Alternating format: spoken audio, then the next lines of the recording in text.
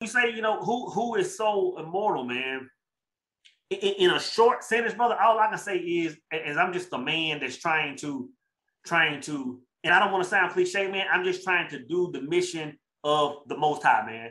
Like, like at this point in my life, you know, I've, I've done a lot of things. I've had a lot of fun and, and, and accomplished a lot of goals. But it's like every day, every day I wake up now, it's more and more about less of me and, and more about what I can do for the mission, like of my brothers.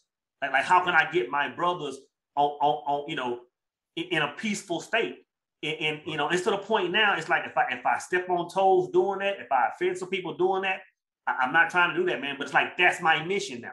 It's, right. it's like once I'm gone, that's what I want my legacy to be. You know, that's what I want my legacy to be, man. So so that's really who I am. Wow, wow.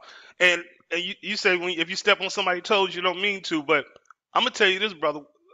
We gotta be, and I understand you being a gentleman about it, and I'm a gentleman. I love being a gentleman to my to mankind. But brothers out there, sisters out there, we gotta be unapologetic about doing our mission, about you know, uh, you know, doing doing the work, doing God's work. And I'm not big on religion. And when I say doing God work, God's work, that has nothing to do with religion. But uh, we got to be like that, unapologetic and, and pushing forward. So so so this is the biggest question or the most asked question I get from brothers. Mm-hmm. How do I find my purpose?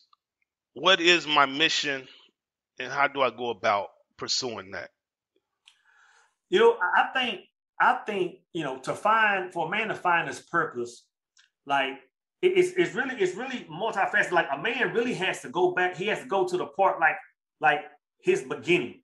You know, when he when he first became conscious of him being able to make his own decisions. I don't know if there's going to be 12, 14, 17, but at some point in time, a, a man has to to unlearn everything he's learned and, and go back to scratch.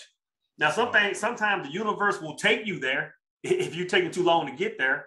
But, right. but at some point, a man has to go to the point where you know where he just you know releases everything you know, he might have to release some of his friends. He might have to release some of his, uh, you know, uh, uh, friends and family, places he used to go to, man, just to get back to that, you know, ground zero. And once he gets there, man, and, and gets to back back to nothingness, then just sit in the silence for a minute, and then those answers will start coming to him, man. You know, and, and when I talk about, you know, I talk about purpose a lot. And, and a lot of brothers, a lot of brothers I talk to, they'll ask me like, "Well, how do you find purpose?" And for the longest time, I couldn't answer that, man. I was like, "Well, you know, I would I would say, well, well, what do you love, man? Like, what's your mission? What's your cause? All these questions.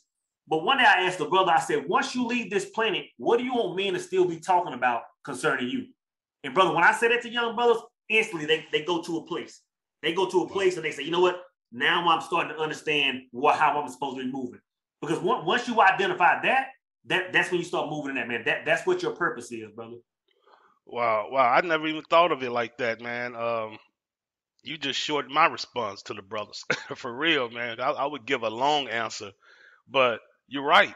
When I die, what do I want to be remembered for? What, what mm-hmm. mark did I leave? And that that simplifies it. That's so powerful, but so so simple.